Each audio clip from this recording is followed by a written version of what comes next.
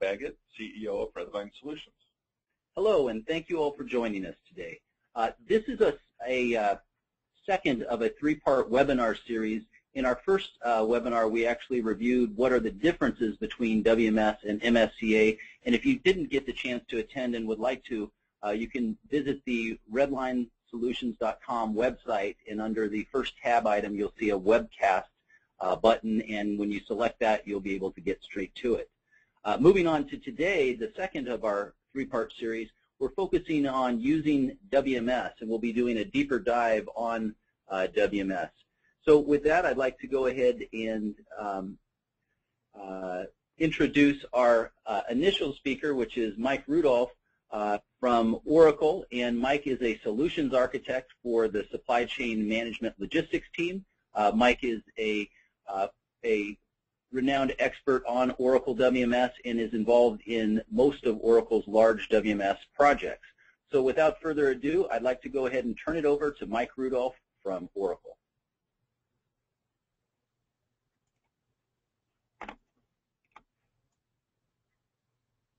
All right, good afternoon, everyone. Uh, as Todd said, uh, I'm going to spend uh, a little bit of time initially uh, talking about um, a couple of things. Uh, first of all, a second here, let me get the screen straightened out.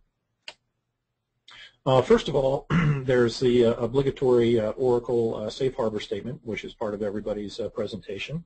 Um, the real meat of what I wanted to talk about, though, for the first 15 minutes or so uh, is uh, what are some of the business drivers that uh, really people use to justify uh, warehouse management and uh, reasons that they go out and uh, and look for solutions in warehouse management. So um, I just collected four up that I wanted to talk about. The first one really is kind of a trend towards customers ordering more frequently, so the orders being smaller and the orders being uh, higher complexity. Uh, customers asking for more specific things, uh, the makeup of the orders themselves being, you know, as they're smaller quantities, uh, uh, more complex to put together. Uh, a little bit different than just picking a full palette of material. Um, so some of the things that need to be in place to really go after a business driver like that and, and fulfill it, make it successful, um, you really do need some robust wave planning and pick methods. So you, uh, in order to, to remain flexible uh, to, to handle sort of this uh, new trend of, of processing smaller orders, it's not like uh, larger orders are just going to go away. So you need uh, wave planning and pick methods that are going to be able to handle both types of scenarios and to be able to efficiently uh, execute both types of scenarios. Um, the other thing that's important is to have a, warehouse management system that will provide real-time fulfillment tracking. So uh, statuses and uh, visibility to the progress of orders from the time that they're planned uh, and uh, released all the way through the picking process, the packing process, and the, the loading, and, and finally the ship confirmation process. So if a, uh, a system, a warehouse management system provides these capabilities, you can typically end up with higher fill rates and then just overall more efficient throughput. So one of the big drivers uh, that I see quite a bit is um, customers trying to handle a slightly changing uh, scenario where their orders uh, uh are becoming smaller and more complex. Uh, another trend which has been in place for quite some time is the uh, idea that operational efficiency is important. So um, with operational efficiency, hold on a second here. Let's see, the screen is blinked out. Uh, with operational efficiency, um, this business driver is really around uh, optimizing cost, labor, uh, various things within the four walls of the of the distribution center. So operational efficiency is typically on the minds of uh, the uh, operations, the logistics uh, folks, the VPs, the facility managers. And in order to get a good operational efficiency, you need a system that can provide capabilities like uh, optimizing storage strategies, uh, optimizing the uh, pick allocation, task assignment, and the ability to go ahead and track the labor that's involved in all of those things in order to get a total picture of what uh, effort is, is uh, uh, happening and where that effort is being spent. So if operational efficiency is one of the drivers for a customer, um, they can typically, by putting in a warehouse management system, uh, get a, a, lower total fulfillment cost uh, and increased throughput. So it's not always that uh, people are looking to uh, uh, cut heads or reduce their labor force. More often than not, people are actually looking to do more work with the same number of people. So they're not interested necessarily in, in cutting heads. They're interested in growing and increasing the capability of the distribution center without adding uh, uh, more people. The uh, third driver that I run across quite a bit is a, a little bit more um, enterprise-wide, and that is that um, there are definite drivers to improve uh, planning processes for inventory and kind of a move towards a more just-in-time environment. So rather than making a bunch of stuff and warehousing it and paying the cost to warehouse it uh, and uh, uh, guessing that uh, somebody will buy all of the product that you just made, um, people are, are uh, going towards shorter cycle time. So uh, making smaller quantities of, of, material ahead of time or purchasing smaller quantities of material ahead of time and really reducing that amount of storage they need in a, in a distribution center. But in order to get this uh, improved planning uh, process, being able to plan in these tighter cycles and being able to uh, optimize uh, the quantities that uh, you purchase or, or that you build, uh, you really need a, a system in place that's going to provide with as close to real time as possible what the actual inventory positions are. So if you're making planning decisions, purchasing or manufacturing decisions based on information about your inventory that is not up to date, uh, that's just, just going to drive planning error and could drive situations where uh, you don't purchase or make enough, you miss customer orders, customer satisfaction is a is a problem. You start running the stockouts, you have to spend more freight dollars to transfer material between different warehouses because it's not uh, positioned properly. All of that kind of drives back to uh, having your inventory positions updated uh, as real time as possible. The other aspect of uh, having improved planning and, and uh, being able to uh, to procure and, and build more just in time is you've got to have a high level of inventory accuracy.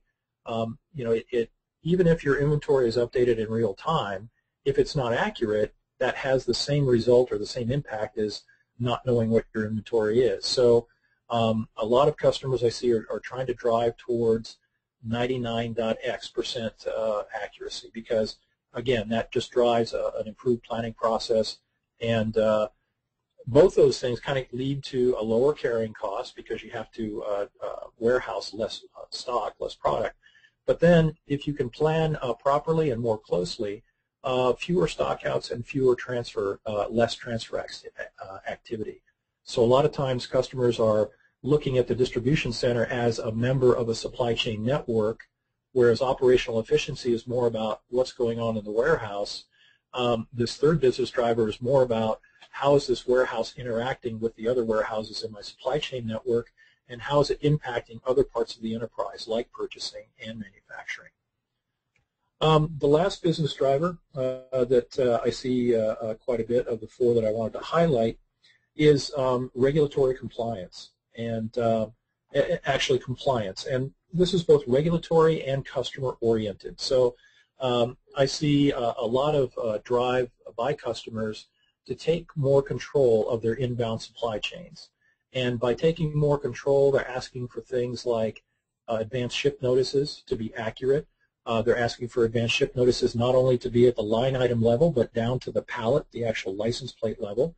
Uh, they're asking for specific labeling, um, all sorts of things that uh, relate to how they want the goods packed and, and labeled um, but then also regulatory side. So there's more focus these days, especially in pharma, food, and, and other places with uh, uh, counterfeiting, with uh, contamination, and, and other things. There's a lot more regulatory focus on uh, making sure that things like lot numbers and expiration dates and knowledge of what the makeup of a shipment is, making sure that all of that is uh, accurate.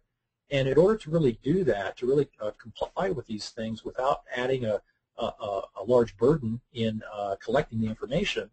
Um, if the uh, uh, information can be collected automatically as part of a warehouse management system fulfillment process, as you're receiving goods, uh, noting what the expiration date, as you're picking goods, noting what the lot number is, knowing which customers you ship these goods to.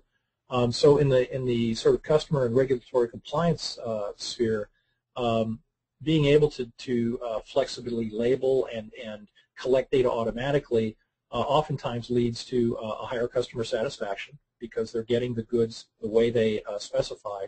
And then on the regulatory side, um, a lower cost to adhere to those regulations. You can't avoid them, but you can minimize the amount of money you need to spend to adhere to them. Um, just a couple of quick uh, uh, slides on um, some distribution benchmarks that I see people using. Uh, some of these uh, relate to inbound, some to outbound. Uh, one of the things that um, uh, I thought was interesting about this is the difference between average and best in class. For a lot of these metrics is not super significant. You look at number eight, the, the percentage of orders shipped without errors, average of 99, best in class of 100% perfect orders. That's a 1% difference. But um, that can be the difference between a, uh, a decently performing distribution center and one that performs uh, very efficiently. You know, you look at uh, somebody who's fulfilling 5,000 orders a day, 1% of 5,000, 50 orders that have errors that you have to run down, track down, resolve every single day, even 1% is a, a pretty significant difference. And then uh, what I hear uh, customers uh, talk about after they uh, have implemented uh, warehouse management, some of the improvement metrics that uh, people look at, things like how much time, how much labor did they spend counting inventory. Um, it says up to 100% because some people are able to actually completely eliminate their physical inventories, for example, by going to a cycle counting program and, and having their auditors buy off on it. So um, these types of, of metrics uh, encompass not just the operational efficiency in the warehouse, but also can impact other areas as well. So you look at uh, something like customer service hours, a lot of that reduction is related to better visibility of the order status. Uh, instead of uh, customers calling in all the time, uh, asking what status their order is in, making that information either available to them or being so consistent in your delivery process that they don't even bother to call you and ask anymore because they always get exactly what they ordered, the way that they wanted it, uh, within the time frame that they wanted it. So um, interesting that these metrics kind of you know cover not just operational uh, parameters within the warehouse, but also uh, again impacting other parts of the enterprise. So um, that was a little bit about uh, business drivers and why people look to acquire uh, warehouse management. Um, the next uh, couple, uh, I'll just uh, talk about Oracle's Oracle Warehouse Management um, integration, and I'll talk about a couple of different different options or different ways you can go about doing this. Um, it's it's important, as you could hear from the the, the business drivers and metrics, you know, that we just talked about, that warehouse management not stand by itself uh, a good warehouse management system is interacting constantly with other parts of the enterprise. So in a, in a typical uh, Oracle eBusiness Suite implementation where warehouse management is an integrated uh, piece of it, um, there's uh, transactions uh, back to financials, there's uh, interaction with procurement, with order management, and with inventory. So with those other modules, and then sometimes other ones as well within the eBiz footprint. So um, when warehouse management uh, is part of the uh, same instance, uh, we call that integrated uh, uh, deployment. So, uh, and that's been the classic standard. So ever since warehouse management was conceived of and um, designed, it was kind of put together with the idea that an integrated environment is best because warehouse management, again, is a part of a, an entire business strategy and, and the interaction of warehouse with the rest of the company is very important. So when uh, deployed in an integrated fashion, uh, warehouse management is resident on the same instance. Uh, the, the communication with the rest of these modules is almost in instantaneous because the interaction is happening at a database level. So there is uh, there uh, there is data that's collected by warehouse management that is shared with other applications. Uh, but because it's all in the same instance, it all happens very quickly, very seamlessly. Um, typically, implementing warehouse management as part of an integrated instance is usually faster and uh, usually uh, lower uh, cost to support in the long run. Uh, faster typically because um, there are not uh, interfaces that need to be dealt with, um, and typically uh, lower over support costs again due to the integrated nature of WMS being in the in the same instance. Now that said, an integrated model for WMS directly integrated on the same instance, that doesn't always serve everyone's needs. So in the most recent release uh, of uh, warehouse management, uh, release 12.1, we've also uh, provided a distributed deployment option. So in this option, we still have the ERP system with the financial procurement uh, order management inventory out there uh, acting as the central repository of data for our enterprise. But in, in the distributed deployment, warehouse management is, is pulled out of that instance and resides on its own instance.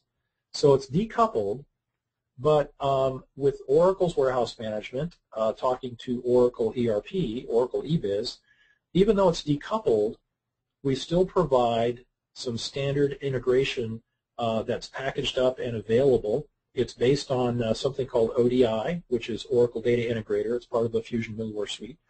Uh, and we have uh, data maps and ODI integration available for uh, warehouse management in version 12.1, uh, interfacing back to 11i10, or 12.1 interfacing back to a, a different instance of, of 12.1. So this decouples uh, warehouse from uh, the host ERP and decouples it from the versioning, so you can have a different version on your host system than you do on your WMS and also decouples the uh, downtime and patching windows. So uh, when one is down, when the host ERP is down for a maintenance window, uh, warehouse doesn't have to be down. Now with some of the hot patching features that 12.2 uh, uh, and, and uh, releases that use the more advanced database features, with hot patching in that, some of that will probably, the need for, for those downtime windows will go away. But um, this deployment option does make sense for some customers in some instances. Um, you know, sort of overall, I'll say that uh, still prefer the integrated approach because the uh, the warehouse management is, is resident right on the instance. But in a lot of cases, like I said, um, this deployment option uh, makes sense for some customers. So just, uh, you know, a few uh, thoughts on uh, some of the business drivers that drive the purchase of a, of a WMS or reasons why somebody would want to uh, deploy WMS. And in talking about deployment, uh, a couple of uh, different options. The integrated option, which has already uh, always been around, and the um, distributed option, which is uh, fairly new. All right? Fantastic. You, Thank you so much, Mike. And again, if anybody has questions for Mike, uh, go ahead and put them into the uh, chat window and, and say, you know, for Mike. And then uh, when we come to the Q&A period, we'll actually go ahead and uh, answer those. Uh, at this point, I'm going to go ahead and turn things over to Amin Sikander, who's a principal with uh, Gaea Global Technologies. And without further ado, Amin, I'll go ahead and turn it over to you. Thank you, Todd. And thank you, Mike, for that excellent overview. Good morning, everybody. My name is Amin Sikander. I head up the Value Chain Execution Practice for Gaea Global. For those of you who are joining us for the first time, let me just take a brief minute introduce our company to you. We are essentially a premier software consulting firm focusing on Oracle Value Chain and Primavera products. We are founded in 2006 by the architects of Oracle's Value Chain products. We headquartered in San Mateo with offices in India as well, which really gives us a global presence. We are currently helping customers in the role of WMS and other products in Asia, Europe, Middle East, and North America. We are not only a long-standing Oracle Gold customer, we are an Oracle development partner as well. We are currently helping Oracle build products and integrations. Now, this slide specifically about our value chain execution team, uh, I think illustrates what uh, we believe separates us from our competitors. Essentially, that our value chain execution team is founded by some of the people who have designed these products in the first place. That combined with decades of consulting experience really gives us in-depth product knowledge plus an appreciation of you know, real-world challenges and opportunities. And here are a few of our sample customers. A couple of them, uh, Zebra, we helped them with the global rollout um, of WMS or, or, over a period of two years. They just went live at all the North American facilities last month, as did Yahoo. Now, Huawei is uh, one of the world's largest implementation of WMS. We went live uh, the pilot phase end of December, and we're helping them roll out. Okay, so moving on, um, talking about uh, WMS in particular, as Mike mentioned, there are specific business drivers and business reasons that you would want to you know, invest in a, WMS system. Now, the first step really, before we get to the actual features of Oracle WMS, is to take a look at your actual warehouse layout. And for those of you who are in the business of running your warehouses, this is all probably old hat. But I'm bringing this up for a couple of reasons. One, as Mike mentioned, the demand patterns have changed over time and do change over time. Customers, is, it's a trend that we're seeing nowadays that customers, you know, order much more frequently and much less uh, quantities. So the warehouse you started off with a few years ago may not be uh, meeting your requirements today. Secondly, you know, it is important that your system integrator who was implementing the actual Oracle WMS system understand your business and understand what your true requirements are. Because Oracle WMS has a lot of capabilities and a lot of features. The trick really to a successful implementation is making sure you you choose the right configuration of the product to help support your business uh, processes. So these are a few of uh, your sample warehouse layout. And by warehouse layout, I, am talking primarily in two aspects. One is the actual flow of the material, as is depicted here. In are various ways you can set up your warehouse for the material flow, U-shaped or L-shaped. But whatever it is, the primary goal essentially is to have a smooth flow of material, to minimize their heading, to, which is essentially minimize travel time and avoiding people having to walk back and forth as they're performing their task. The second object of setting up your, your, your warehouse is to look at your storage locators and see if they meet your requirements. And for this, you really have to start by identifying your core objective. Is it to increase your picking efficiencies or is it to maximize space utilization? Now, in an ideal world, the answer would obviously be yes, both, right? Um, However, in the real world, a compromises have to be made. So it, it's good to keep your primary objective, your primary driver in mind. Now, the, the overall objective is obviously to decrease your turnaround time to optimize your space utilization by minimizing your material movement and handling, thus lowering costs and increasing your productivity. Obviously, you have to account for safety considerations as well.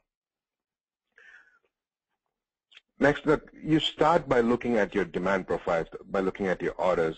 And there are companies that you know specialize in doing nothing but this, and this could be a full-blown project by itself.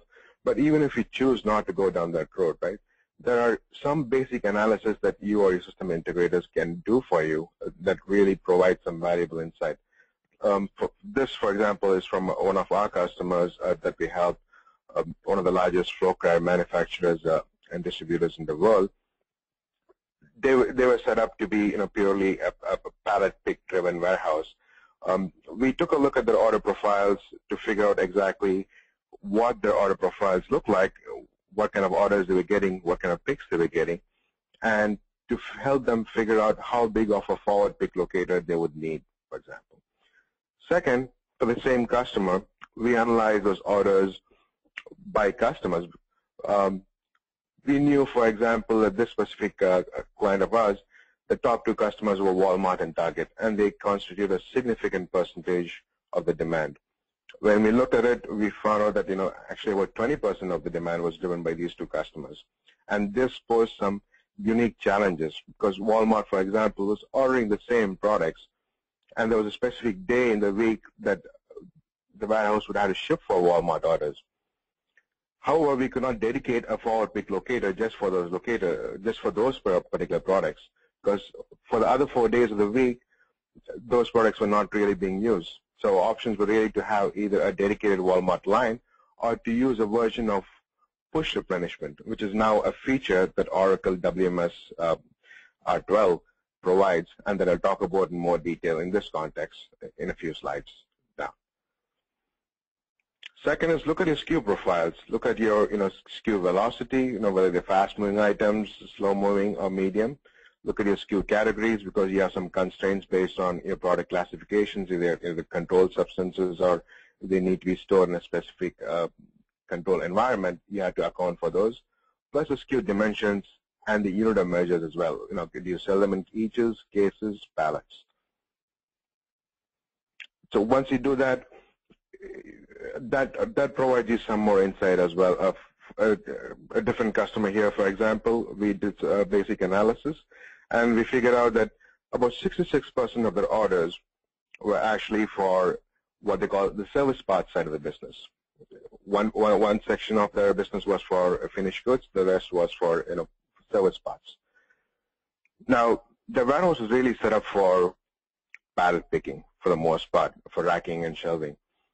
But however, the order profile really dictated the need for a separate area for the service parts business, especially you a, a large part of the service parts uh, orders were single line orders as well that always went parcel. So they started off with you know a service parts area that looked something like this because they were not really set up to handle this kind of uh, these kind of orders and these kind of volumes. After our analysis, you know, we recommended that they reconfigure a part of the warehouse and we set up a separate shelf area for uh, these service parts and divided those into a true cluster picking kind of scenario where people could uh, stay in the zones, pick multiple orders into each store, and pick and pass on to the next person down the conveyor. Like I said, now a lot of this analysis can be done with really basic data. If, if for example, you're a current Oracle WMS user, it could be as simple as dumping out all your completed tasks from your control board and slicing and dicing the data if you don't already have Oracle WMS, uh, you could just dump out your, your, your sales or a picks over a course of time and take a look at that to, to come up with some of these basic metrics. The goal basically is to, once you identify what your, your orders and your customers and your, your SKUs dictate you have, you match that against what you actually have, the size of your warehouse, the number and types of locators, the equipment you have, and the resources that you have to fulfill those tasks. Once you're done, once you have a basic understanding of your auto profile and your your your your, your SKU profiles, then you can start setting up your system, the Oracle WMS system, to meet those requirements. And a key part of that is the Oracle Rules Engine. Allows you to you know set up alloc picking, put away, and replenishment strategies. Now the key here is that you know all these strategies you should probably think of them as uh, you should probably have them working in sync with each other it doesn't matter. It doesn't make sense to have a put-away strategy that uh, directs you to a specific configuration. For example, let's say your put-away is directed to you consolidating like items together. Now that doesn't make sense if your order patterns don't require that, or if your order patterns will actually, in fact, get you away from that. So your, your put-away is trying to do something, and your, your picking is doing something completely different. Now, one of the most common requirements uh, that we come across is the, the basic FIFO and uh, FIFO-based allocation uh, requirements. Now, with regards to FIFO, you have to be uh, you have to decide how strict of a FIFO you really want, because some industries mandate that you ha absolutely have to pick the oldest possible material, and, and that's fine. And but the unfortunate truth of the matter is that it comes with certain reductions in uh, picking efficiency. If you always have to pick the oldest material, that may not be the most efficient uh, way to pick. And it might involve you breaking down a pallet, for example, to grab a specific piece of an item that's the oldest. So a lot of customers where it's not really mandated, um, they really let the replenishment part of the business drive FIFO. So they would have a forward pick locator, a forward pick zone, and replenishment would ensure that the oldest material from the bulk would be replenished down to the forward pick locator. Picking, it would drive the users to the old, uh, oldest locator in those forward pick locators, but once it gets to a locator, the, the, the, clients don't really care as to which specific uh, piece of material the user is picking. If there are multiple lots, for example, of the multiple serials, which is a better example, once it gets down to the golden zone or the forward pick locator, as long as the system directs the user to the oldest locator, at that point it doesn't really matter as much which particular piece you pick. It gives the users more flexibility and reduces time in picking. Now, going back to the previous example I had about those single line orders, uh, I mentioned that no, this for this particular customer, a large percentage of the orders were single line orders. Now, for the rest of the business, we had implemented a consolidation strategy. By that, I mean like all orders were consolidated by delivery at the staging lanes. So we utilize a wave picking methodology where multiple people were picking the same order over you know, different parts of the warehouse. And these would all get consolidated down to a single staging lane, down to one delivery, which could then be loaded onto a truck or a trailer.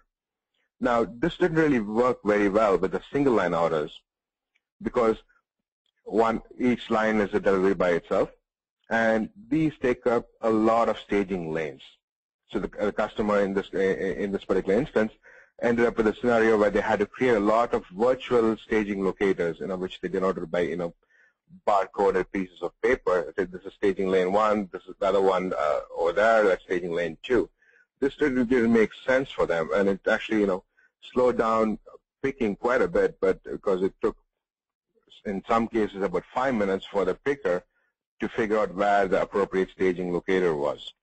So rather, we used a very simple solution. We created a put-away strategy that looked at the single line orders and said, if it's a single line order and the weight of the order dictates that it's a parcel, then direct that to a separate staging subinventory called parcel. That way you segregate your single line orders away from the rest of your orders. Now, O allocation next is a new methodology that Oracle introduced in R12. This is specifically used for what I like to call rolled or continuous products, products such as a cable or wire. So, for example, if you have a reel of cable sitting there, which is about uh, uh, 510 feet, and a customer orders uh, 500 feet of uh, cable, now it's not possible for the picker to go and actually get 500 feet. It's not possible for him to cut that reel right there in those kinds of scenarios, it makes sense for Oracle to over-allocate up to the shipping tolerances that the user defines, to over-allocate so that the user can actually pick the entire reel and ship it. The allocate by pick unit measure is uh, probably one of the most popular uh, picking methodologies uh, employed.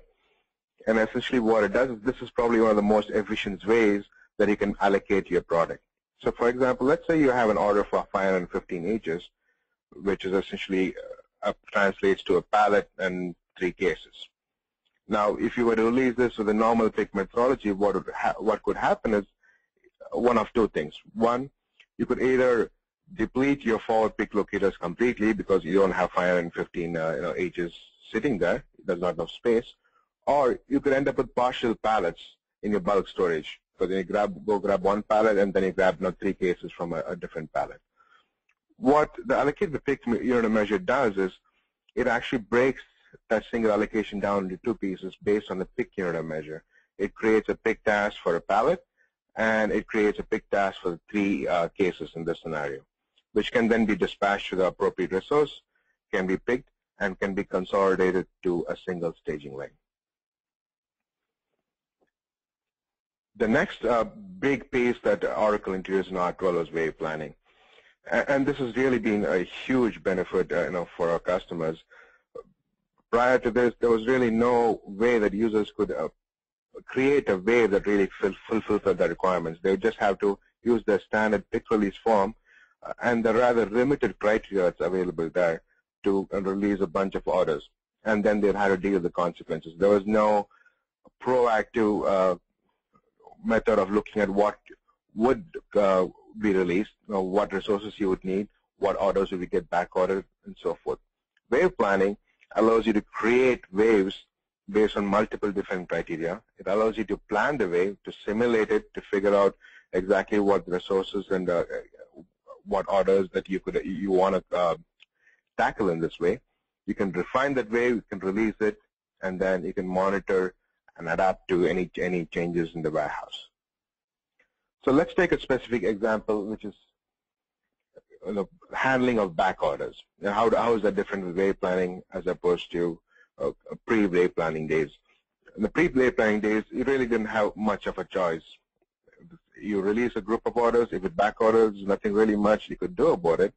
You had to go back in and, uh, you know, if, for example, you had a high or a high priority order that you wanted to get uh, allocated ahead of another order, there was nothing you could do systematically to make that happen. You'd have to unallocate one order, reallocate the other order. It was a very manual process and a very time-consuming process.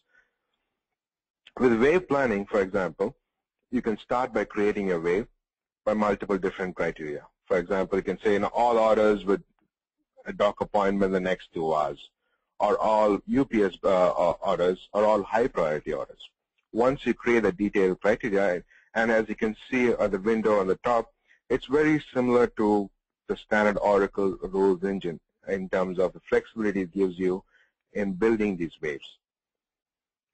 You can, you, know, you can have as you know, advanced uh, criteria such as the single line order scenario I was talking about. You could say, you know, pick all single line orders, and if the total weight or is, is less than 250 pounds, that's going to go parcel. So I want to re release all those lines ahead of time. It also allows you to create um, and plan in one step or multiple steps based on whatever you you want to do, and you can refine your, your your, consolidation criteria to an extent here. If you want to create deliveries across orders or you know within an order for this particular wave, you can choose to do that. Once you create your wave, you can plan your wave, and this is where the back order, back order handling scenario comes into play here you have multiple options here. You can choose based on uh, uh, if you have a limited amount of inventory, you can choose to what you want to do with the back order situation. Do you want to back order the lines? Do you want to remove all the lines that ship set from the wave? Or do you want to remove the entire order from the wave? These are the options that you know you never had before you oh you had to do all these steps manually. once you, you plan your wave, you can then release your wave or you can simulate it and figure out exactly what you're going to get. You, you will see based on task types what resources you would need. You will see the number of back orders that you could potentially get. At this point, you could choose to, you know, remove some of your low priority orders and, and uh, release it again to make sure your high priority orders get the limited amount of inventory that you have on stock. Once you're done refining a wave, you can form and release the wave, which sends the task to the warehouse. Once you're done with the allocation and the wave process, now this is about the actual execution of the SPIC task. And this goes back to your, your, your demand profile analysis and your SKU profile analysis. Because uh, there are, you don't have to pick one pick methodology. And a lot of our customers don't uh, it's based on the areas, the warehouse, based on the kind of uh, products you're picking, you might find it more beneficial to have a certain kind of picking methodology for a certain kind of uh, certain uh, area in the warehouse and a different one for a different section.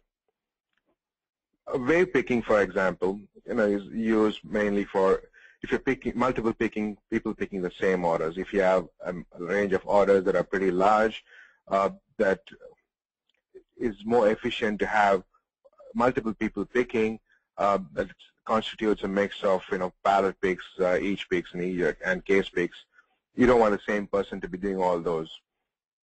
So you can have uh, three different people or X number of people going and picking different orders at the same time. Now each of those uh, particular pickers could be handling more than one order, but when it comes down, when it comes time to drop it, when it comes to the staging lane, they're all directed to an appropriate staging lane or to a LPN so that the deliveries get consolidated and can then can be packed and shipped. Cluster picking, on the other hand, you use for a large number of orders with average volume. A, a user can uh, tell the system the size of the cluster he wants to pick, whether he wants to pick 16 orders at a time or 8 orders at a time or 4, based on how big his cart is and how many totes can fit in a cart. That's a, that's a typical uh, cluster pick scenario um, where a user pushes around a trolley cart with multiple bins and they're picking different orders into different bins. This combined with cartonization is a new feature in R12. It's called cluster picking by label, where you can not only be picking, but you can be packing at the same time, as is shown on, on the box, on the diagram on the right. Bulk picking I talked briefly about uh, last time. Um, essentially, this is a scenario where you have multiple orders for the same item, which if released separately, would all have constituted four different tasks in this example. However, with bulk picking, all those different uh, order lines can be consolidated into one pick task for one pallet, say, which can then be directed to the appropriate resource. The picker then goes and picks an entire pallet, and then it drops off individual order lines to different staging lanes. A far more efficient way of picking than you would normally otherwise have executed. Pick and pass is another pick methodology where uh, you pick by the use cartonization. You pick and pass uh, from one zone to another. People are segregated by zones, and you, if you can actually go to the extent of forming what's called a bucket brigade, where, basically you have a group of people who are self-organizing. You don't necessarily direct a specific tasks to specific people, but they, they scan the tote that they're working on, and they get the task for the tote. Once they're done with that, they move on to the next one. The big advantage of that is that you kind of eliminate some of the bottlenecks that you see in, in a, just a standard pick and pass scenario. You're not you're no longer limited by your slower speaker. Rather, it's your faster speaker that really dictates the space, the, the pace and the flow of the material here. Your other goals, uh, the warehouse, are to minimize your handling requirements. And for this, uh, Oracle has uh, you know a few options here and to minimize uh, tasks in general. An interesting new functionality that was introduced is called threshold-based cycle counting. So rather than just relying on your ABC classifications, scheduling of cycle counts, and having those tasks performed as uh, discrete tasks out to the users, what you could do is you could define thresholds for items at the locator levels. So you can say if an item falls below uh, a quantity of 5, for example, I want to pick I have a cycle count task to be executed. So now, as a picker is performing his pick task, and let's say now the, the, the locator had a quantity of 15 to begin with, and he picked 12. That drove the system to below the threshold level. Now this picker is going to be presented with a cycle count task at that time. He confirms that there's actually only three left, and now you get credit for the cycle count task, and you don't actually have to send another user out to perform that you can always utilize put-away strategies to drive slotting and replenishment. So when stuff comes into the door, you can drive your put-away to top off your replenishment locators if FIFO is not a huge concern or if there's no older material sitting in your bulk storage. You can use uh, cartonization and manifest picking. Um, again, all, all, these topics, to truth be told, you know, probably deserve their own webinar in, in interest of time, uh, we're basically only touching on the highlights here, but we'd be glad to go into the details of any of these later at some point, or you, know, you can reach out to us. But essentially, cartonization allows you to pick and uh, pack at the same time, thus alleviating the necessity for you to handle the material twice. Manifest picking, again, new functionality that Oracle uh, introduced, where you pick and you, you're slapping the labels on at the same time as you're picking. So it reduces one, one more step in the whole pick, pack, and ship process. Cross-docking has been available for quite a while now. Oracle started off with what they call opportunistic cross-docking. So, for example, when material comes in through your inbound dock doors, the usual flow is that the material is received and put away to your storage. Then you release your orders, material gets picked, staged, and shipped. With opportunistic cross-docking, when the material comes into the door, when the user scans the LPN to put it away, the system will automatically go and look for any back orders for that material. If there are any, it's going to direct the user to take that material directly to the outbound staging lane, where it can then be merged up to the rest of the order. With R12, Oracle also introduced the concept of planned cross-docking as opposed to opportunistic a plan where you know you have a situation where you have a lot of orders for um, a particular product that you don't have on hand yet. Perhaps it's on the it's in the water, and you know uh, you have a specific PO for it or an ASN that's coming in. You can peg that sales orders against those um, POs, so that when it does come in, it's already automatically reserved against uh, the sales order, and you can minimize your handling. It can be uh, directly picked and uh, packed and shipped. Next, you, know, you can use you know, task types and equipment uh, creatively to minimize deadheading and to make sure that you, you, your users don't get in the way of each other. Now, some of those can be accomplished by creating different uh, subinventories in Oracle, but it's not re always realistic to do so. In the case of the VNAs, the very narrow aisles, for example, it doesn't really make sense to you know create each aisle as a separate sub. It's too much maintenance. You could instead model a specific equipment for each aisle and have users sign on to that equipment and perform pick tasks. Replenishments, again, brand new features introduced in Oracle R12, WMS R12. I mean, prior to that, we had a usual min-max replenishment, whereas you set up min-max levels in your forward pick locators. Once it fell below the threshold, everything would, uh, you know, a replenishment task would get generated, which you could then execute. Now, this had a couple of significant drawbacks. One, a lot of customers didn't have enough uh, space in the forward pick locators to handle you know, a day's worth of demand. Uh, that's just the reality of the business that perhaps you know, your warehouse is not large enough for you to have the luxury. And two, a lot of them didn't have uniform demand. Min-max implies that your demand is kind of uniform and that you can, you know, you can manage it using those levels. That's not always the case. And that's what Oracle provided with pull and push replenishment. The difference between the two is in pull replenishment, it's essentially, uh, take, let's take this particular example, uh, where you have an order for 15. You release the order, the system will create the replenishment task based on your, you know, the fact that you have a demand for this and, and the fact that your forward pick area doesn't have enough to satisfy it. It's again uh, uh, determined by your min-max levels, but it's done automatically. You release your orders, the replenishment tasks are created, those tasks are executed, and then the pick tasks get executed subsequent to that. What this gets you is that you're not reliant on your replenishment tasks having been executed uh, before you release your pick waves. It's a, it was always a manual process before. With dynamic pull replenishment, all that is automated. So even if you have a limited uh, amount of space in the forward pick, the system manages that automatically for you. The difference in push replenishment is that push replenishment is for non-uniform demand. Going back to the first scenario I was talking about where you know one of our customers had Walmart as their customer, and they had the situation where they had to pick a specific item on, on Wednesdays because Wednesday was always Walmart day for them on Wednesdays.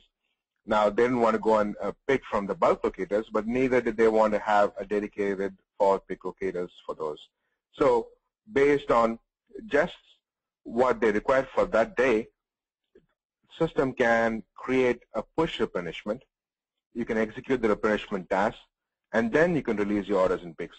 So in our scenario, for example, they would clear out a specific area in the staging dock and say, okay, this is our Walmart uh, forward pick area for today let's create the, the push replenishment, bring it down here, and then we'll release and pick from here.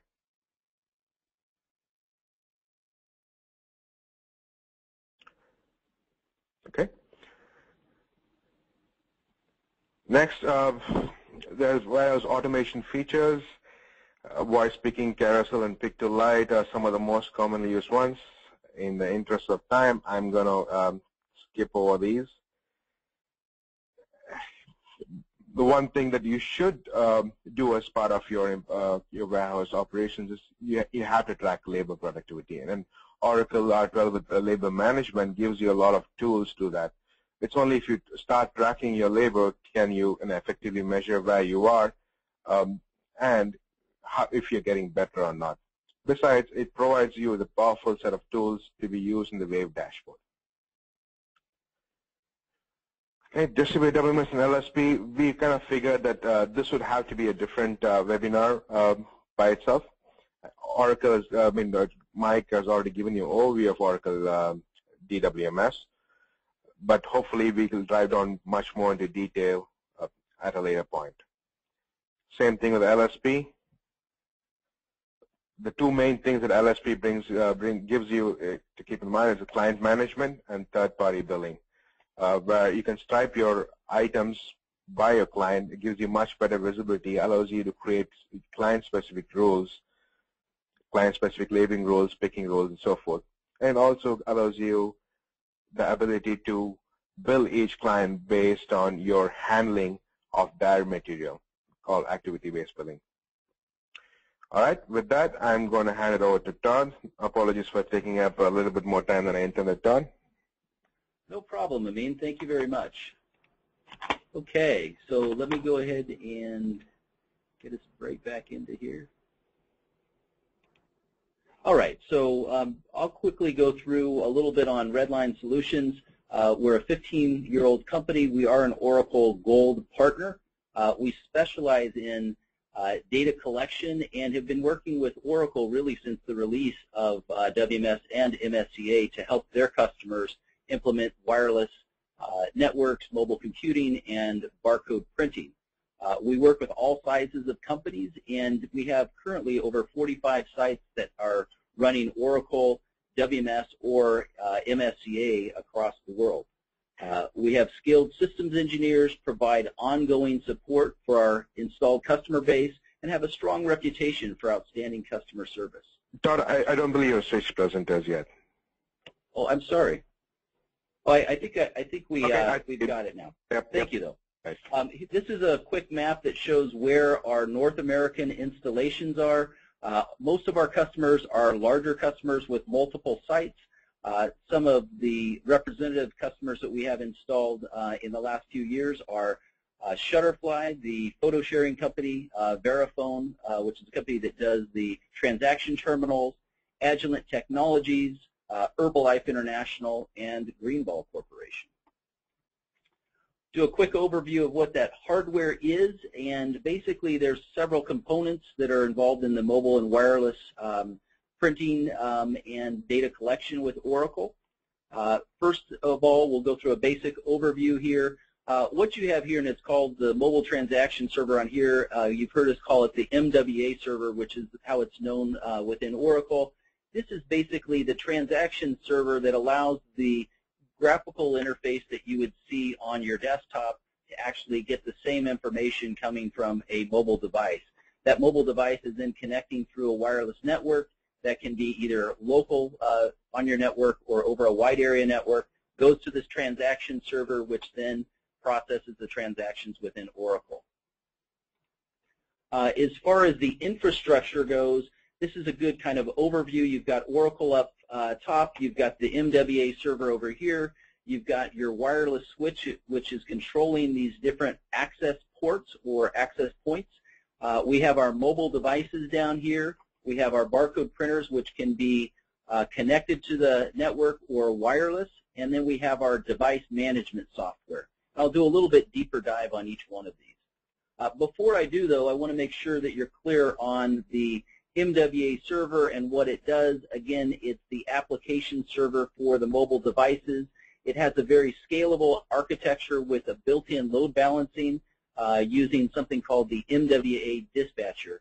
Uh, the mobile devices are either Telnet or GUI clients. And the nice thing about this is it's the same hardware requirements whether you're using WMS or uh, MSCA. Um, what we'll see here on this slide is for that MWA load balancing, uh, it's done through the dispatcher. And each uh, instance of the dispatcher takes between 256 and 512 uh, megabytes of memory. Uh, each one will serve 15 to 20 mobile uh, uh, users. you can have up to 10 MWA server instances on one dispatcher and multiple dispatchers. So it's a highly scalable architecture that really supports a 24 by 7 uptime. Uh, now I want to shift our attention to the mobile devices. Uh, first of all, in warehouse environments, the most common device used are these mobile uh, rugged devices here that are for uh, really kind of a gun style that the, the operator will either have mounted on their forklift or in a holster. Uh, we also have vehicle mount terminals that you see here on the right, as well as rugged uh, terminals, which some of them actually have outdoor viewable screens. So again, depending on the type of information and the type of transaction, we have the right tool uh, for that application. typically on these devices, again, as we're looking at some of the durability standards, we're looking at things with a minimum of a six-foot drop to concrete uh, with a wide operating temperature and an IP64 or better sealing. On the wireless network itself, uh, the current uh, state-of-the-art is really a switch controller-based architecture which allows you to have a fault-tolerant redundant controller that is talking to all of the different radios.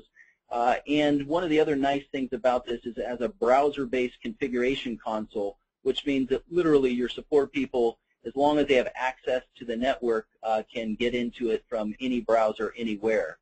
Uh, it allows us to control multiple access uh, points and ports, and I show a couple different types here.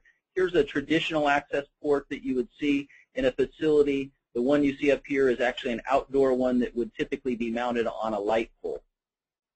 Uh, the uh, optional wireless network security and intrusion protection is uh, something that we can go into some more detail on. Uh, at a high level, it allows you to make sure that you don't have unauthorized users uh, getting into your network. And if you get the intrusion uh, protection system, the next level up from this, you can actually knock them off of your network. Uh, we often in, include enclosures for the uh, access uh, ports when they're in dusty environments to just keep them uh, safe from the elements. Uh, moving on here, one of the critical things when you're doing wireless is to do a site survey. And basically, as the slide shows here, a, a site survey is a blueprint for your wireless install. Uh, what you're seeing down here below are heat maps that show the signal coverage in as an overlay over your facility. What you're seeing in this lower left-hand corner is actually a map of a facility that shows not only where the access points are in these particular dots, but also the cabling paths and where they connect into. Okay, uh, moving right along, the next part here is to talk a little bit about the wireless device management software. And one of the elements I talked about is most Oracle clients have multiple sites, and so their help desk support is very important for them what this wireless device management does is, is, it provides you a central console for managing all of the mobile devices. Uh, it gives you access uh, for your help desk to do remote desktop support for the uh, devices so they could have remote sites that they can say, hey, I'm having a problem on my gun. They can actually log on and see exactly what's happening. Uh, what's nice about this is that sometimes your, your users will go in and actually change settings on devices and with the, this device management software, what it ensures is every time a user logs in, it checks against a golden image and says, A, does it have the right program on it? B, does it have the right local settings? And C, is it configured for uh, my wireless network? So this is an important tool that is used by uh, customers who are deploying these mobile devices. Now I want to shift uh, focus for a minute to barcode printing options. Uh, we have our traditional network printers that uh, can be connected. As I mentioned before, networks now can be wired or wireless. Uh, that includes the portable devices can be wired to a device. More commonly, they're set up as wireless, so they just look like network printers. And in some environments, it makes sense to bring the mobile workstation to the work. So what we're seeing here on this print cart is actually a wireless printer that would be connected to the network and allow us to actually send um, that signal down to it and do printing right there off of the station. Basically, what you see at the bottom here is there's a, a giant battery there, so these uh, devices can run for uh, 8 hours, 12 hours, 16 hours, depending on the configuration of the print cart uh, that is used. So speaking about uh, barcode printing within Oracle, a couple common things you should be aware of is uh, all the printing from Oracle use BI Publisher. Uh, the data format comes down in XML strings. Um, automated label printing can be triggered by specific business events in the WMS environment, uh, which again ties back to the rules-based framework, which not only allows you to trigger the label printing, but also to have rules-based uh, label selection. So if you had a customer who had a specific label format that they needed, you could tie that label format to them so that anytime you were printing labels for them, it automatically selected the right format. Um, the direct printing through XML, I'll talk about a little bit on this screen. And that is there's really two main options. One of them is to do XML printing where you design the label on a PC and then store that label within the printer's memory, which is shown in this, this illustration.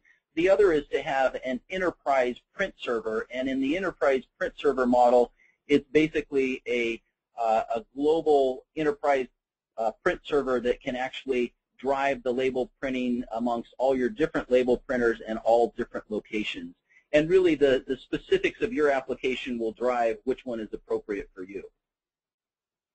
Uh, the other part I want to talk about briefly is the barcode scanner. So we've been focusing really on the mobile devices, but you may have stations um, such as that print cart or other just desktop stations where you just want to plug in a barcode scanner and enter the data directly into an Oracle screen.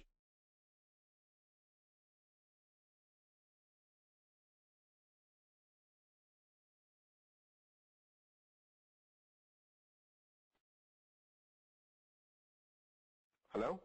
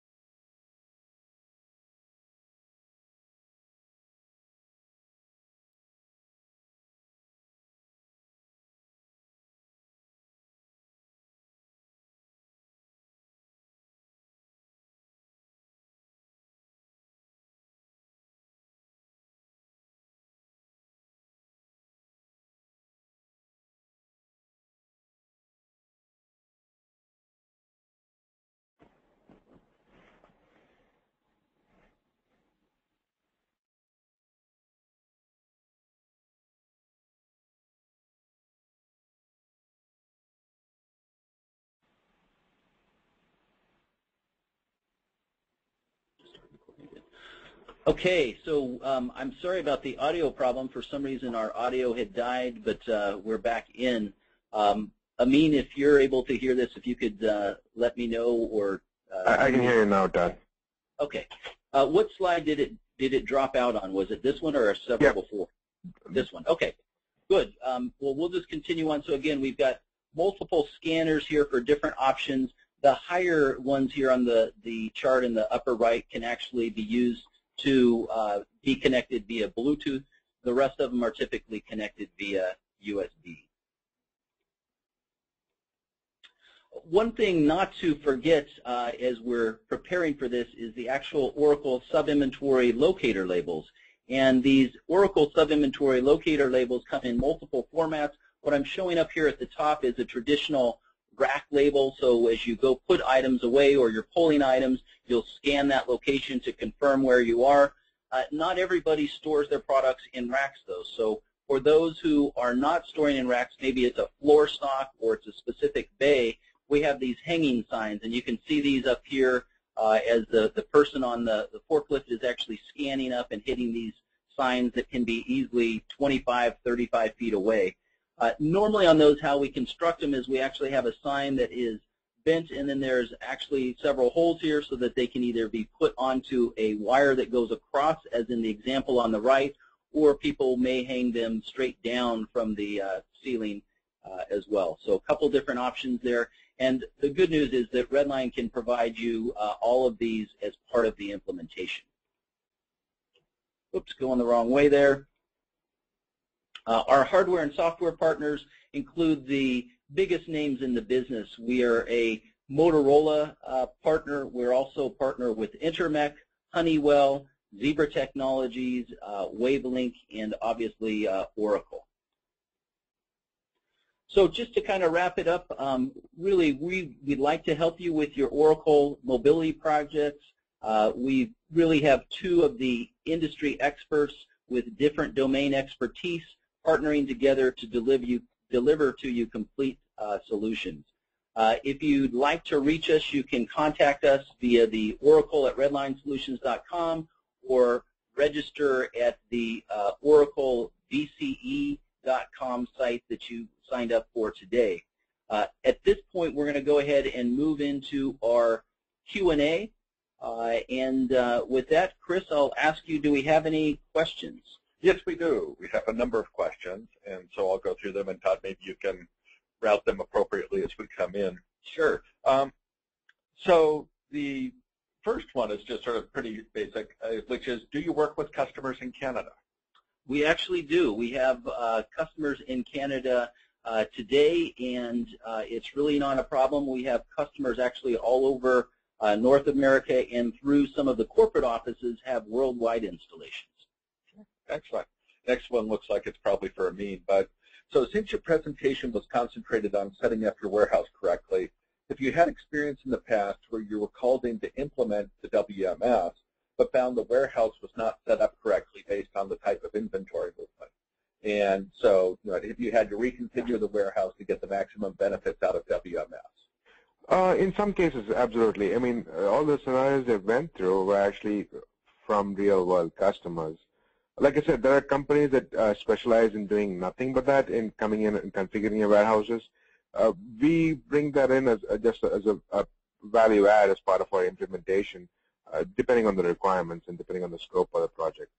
Okay, but a basic good. analysis, yeah, we do. All right, excellent.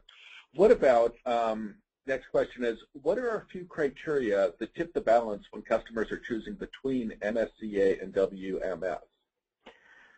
Um, what I, I, we actually went through that uh, the last webinar, so I would refer you back to that to, to a replay of that because there are a number of uh, different considerations. You know, the size and complexity of operations, the volume, um, whether you needed directed uh, directed task as opposed to just being user initiated there's a whole bunch of parameters. Uh, like I said, there's a presentation available already out there. If you could refer back to that, or we'd be uh, happy to answer you directly. Okay. Yeah, and, and at very high level, the, the major difference that I see is that WMS uh, um, is really the directed activities. It's controlling the work. It's business uh, event triggered, whereas MSCA is really just automating the data entry part of it or scanning data in instead of taking it back to your uh, desktop and keying it in. Excellent.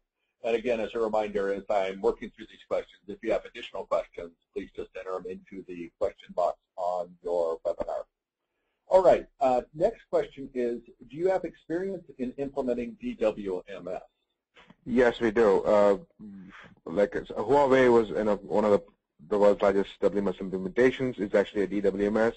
We're currently in uh, uh, two other projects. One where we're integrating um, DWMS back to uh, PeopleSoft uh, ERP, and the other where um, we are incorporating multiple organizations uh, and coming up with a single unified distributed WMS org. So yes, we do have a lot of experience with DWMS. Okay, good. And then this was actually from a separate person, but it follows on. Can we implement LSP along with DWMS? Yeah, uh, yes, you can. LSP, if you think about it, is really a version of DWMS. Rather than interfacing with with a host ERP system, you're really interfacing with a bunch of different clients. But but yeah, uh, the the basic concept uh, in terms of the interface layer is essentially the same. Okay, good. Um, can you tell me what's the typical ROI on implementing WMS? I think Mike, uh, at the beginning, went through a whole bunch of different um, uh, slides where he showed a, a different uh, a range of parameters uh, that he can use to measure ROI. But yeah, I mean, at the end of the day, it's to not necessarily you know reduce your labor, but to do more with less, to be more efficient, to be more optimal, to be to store less inventory, to use less people to do the same amount of work. Got it. Okay, good. Uh, next one, Todd, would be for you. So I'm interested in the print cart that you showed. You know, can it run for a full shift, for two shifts? Um, how would I get more information about this? So uh, great. First of all, um, what's nice about these is that we actually uh, have multiple batteries that can be used. And so what we do is we look at what you're going to plug into it and then determine what that current draw is. And then from there can tell you, hey, you need the one battery version or the two battery version, and we can run with it. We basically have uh, on standard, I would say an eight-hour shift is reasonable, and you can get up to 16. And when I say up to 16, what we see is typically there are breaks during the day, for instance, a lunch break, or there's uh, breaks between trucks coming in. And in those cases, what we recommend is that you actually plug it in to let it get a trickle charge while that's going on. But if uh, the person who sent that in would like to get more information, uh, send us an email at that oracle at redlinesolutions.com, and I'll get in contact you, with you uh, and provide more details. Excellent. All right. Next question is, we have MSCA now and have been considering moving to WMS. Is this an incremental move, or do we replace existing mobile transactions? Uh, let me take the hardware uh, part first, and Amin, I'll toss it over to you for the uh, for the WMS part of it. The good thing is on the hardware, it's exactly the same, so you wouldn't have any changes at all uh, moving from MSCA to WMS. Uh, as far as the rest of it, Amin, I'm going to let you answer that one. Right. Um, so a, lot of customers actually go that route where they start off with MSCA and then move on to WMS. So it is an incremental move in terms of the hardware, in terms of you know, configuring the guns and so forth. Uh, MSCA, however, it doesn't really cause you to, uh, like like as Todd put it, it's essentially a mobile front end on top of Oracle inventory. With WMS, uh, you have to set up the rules to model your business processes and so forth bottom line is it's incremental. It's uh, none of the stuff that you did for MSCA will be thrown away, but you will have uh, additional setups and you'll have different screens that you'll be using, and, and you'll be using LPNs obviously with WMS. All Very right. good. Good. And that was our final question for today. Great. Well, listen, uh, everyone, we appreciate you attending today. I uh, apologize for the uh, uh, audio problem that we had. Uh, we do have one more webinar in this series, and that is going to be on Thursday, May 10th, in which we're going to do a deeper dive into MSCA. So if uh, somebody is not quite sure of which one is the best fit, I'd advise you to go back and listen to the webcast that we had on comparing the two, and then join us on Thursday, May 10th for our webinar on using MSCA to drive inventory efficiency. Uh, you can sign up for this at the same location that you uh, signed up for this webinar, which is www.oraclebce.com. And uh, with that, uh, we'd like to thank you for attending. Uh, here's some contact information if you'd like to reach us, and we'd be more than happy to talk to you about any of